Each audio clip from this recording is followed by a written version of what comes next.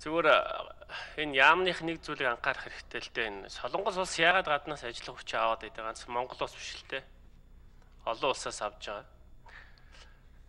Тэгээд энэ дотоодынхоо бүтээгдэхүүнийхээ зардал өртгийг л бууруулах, экспортод гаргах одоо тэр өртгийг бууруулж өрсөлдөх чадвараа нэмэгдүүлэх гэж байгаа шүү дээ. Тэгээ бид энийг ирээсээ харддаггүй. Өнөөдрийн ярьж байгаа асуудал зөвхөн нийгмийн бодлогын асуудал биш байхгүй юу? Бид яаж өрсөлдөх чадвартай байх вэ? Яаж экспорт нь гаргадаг бүтээгдэхүүнийг дэмжих үү? Энийг ярих ёстой. Тэгэхгүй бол ганцхан нийгмийн бодлогын асуудал гэдэг асуудалд хандах юм бол бид ер нь өрсөлдөх чадваргүй л одоо байнгын өрсөлдөх чадваргүй л болж байгаа. Одоо ярьж байгаа хуулиудыг харахад Монгол улс бол ажиллах хүчний хомсдод бол гүн орсон. Гүн гүн орсон шүү. Гэхдээ би зөвхөн ганцхан зөвхөн халамжаас болсон гэж бодохгүй байна. Энийний цаана бол одоо зүгээр нэг халамж авал гэртээ хөвтөд ийн гэж ойлгохгүй байна. Харин зүгээр ажлын байрны олдос нэмэгдсэн 2 3 шалтгаанууд бол байгаа.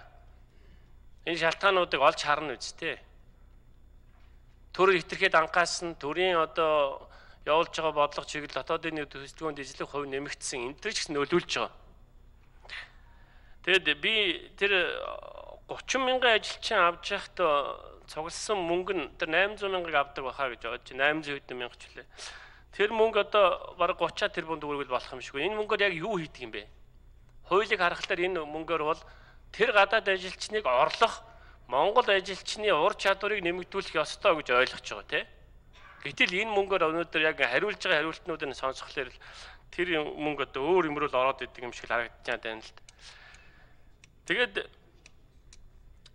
бид ерөнхийдөө нэг зүйлийг ирэх сайн анхаарах хэрэгтэй байхгүй юу? Гадаадаас ажилчаа аваад бид өөрсдийнхөө одоо өрсөлдөх чадварыг нэмэгдүүлэх ёстой л гэдэг ойлголт шүү дээ. Гол ойлголт логикоор бол. Түүнээс биш ингээ хариулж байгаа хариултуудыг сонсхолоор би тийм юм алдаад байна, ийм юм алдаад байна. Энэ хүнээс ийм юм авах байсан чи ийм хүн авч чадсангүй, тийм хүнээс тийм авч чадсангүй гэдэг ийм ойлго. Бүр яг үйл одоо суурэ харахгүй байна л дээ. Яагаад Японоос ажилчаа аваад байгаа юм? Яагаад Герман ажилчин аваад байгаа юм? Яагаад Солонгос ажилчин аваад байгаа юм? Яагаад өөрсдөө хэдэн зуун сая хүнтэй улсууд ажилчин аваад байгаа юм? Бид яагаад ажилчин авч байгаа мөртлөө тэгээ өнөөдөр одоо бас л логиктой юм тийм ойлгомжтой эдийн засгийн талаас нь харах хэрэгтэй л дээ. Тэгэхгүй бол одоо энэ яригдж байгаа хуулиуд ер нь тэгэл би зүгээр дахиад хэлье. Халамж аваад хүмүүс гэртээ өвтөд байгаа биш шүү. Монгол улсад ажлын байрны олдс нэмэгдсэн 3 4 шалтгаанууд байна. За би энийг дараа дараагийн хуулиуд дээр ярив. Тэгээд э, саяны асуултанд Ариун зай сайдаас хариулт сонс баярлалаа. За 81 Ариун Ариун зай сайд.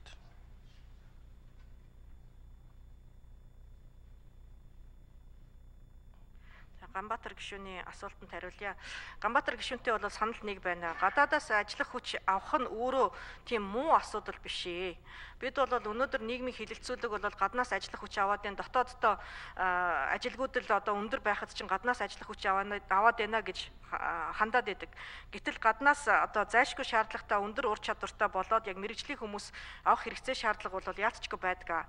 2011 оныг аваад үзэхэд бол эдийн засгийн хамгийн оргил эдийн засгийн өсөлтийн одоо хамгийн оргил үе байсан 11 он 12 он тухайн үед бүтээн байгуулалт бол Монгол улсад эд өрнөж байсан. Энэ үедээ болол 30 мянган одоо гадаад ажиллах хүч Монгол улсад ажил хөдөлмөр эрхэлж байсан бол одоо 6045 гадаад ажилтан л одоо Монгол улсад байна. Ирэх оны хувьд төсөв одоо батлагдсан эх оны хувьд бол яг хөрөнгө оруулалтын бүтээн байгуулалтын жил байна гэдэг төсөв бол бид нар ямар ч байсан энэ хэлбэрээр бол батлуулсан байна. 500-аад одоо бүтээн хөрөнгө оруулалтын төсөл арга хэмжээнүүд бол тусгагдсан байгаа. Энэ дотор бол яг л одоо мэрэгжлийн бүтээн байгуулалтад оролцох ажиллах хүч бол мэдээж шаардлагатай.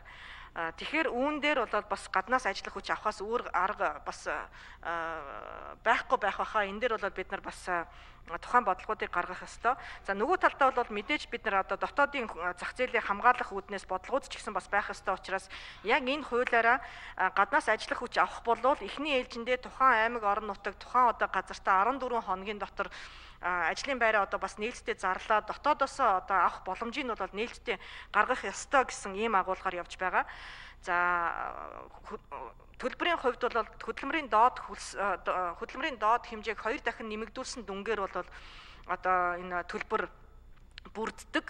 2011 оны хөтөлбөрийн хөлсний доод хэмжээ болоод одоо 2021 оны 22 оны хөтөлбөрийн хөлсний доод хэмжээ өөрөө өсөн нэмэгдсэн өөр өөр байгаа учраас тухайн үед 240 мянган төгрөг байсан бол одоо нэг 840 мянган төгрөг байгаа. За зарцуулалт нь бол түрүүн би хэлсэн хөдөлмөр эрхлэлтийг дэмжих сангийн дийлэнх одоо бараг 70% нь бол мэрэгжлийн боловсролын салбар руу одоо шилждэг байсан. Энэ бол одоо болж байгаа. Эх оны хувьд одоо 100% хөдөлмөр эрхлэлтийг дэмжих одоо үйл ажиллагаанд зарцуулагдана. Эх оны хувьд хөдөлмөр эрхлэлтийг дэмжих сан дээр бид 104 тэрбум төгрөг төсөвлөсөн байна. Эдгээрийн бол одоо бас нэг хэсэг бүрэлдэхүүн нь энэ гадаадаас ажиллах хүч авах энэ төлбөрөөс бол бүрднэ гэсэн ийм төлөвлөгөөтэй ажиллаж байгаа.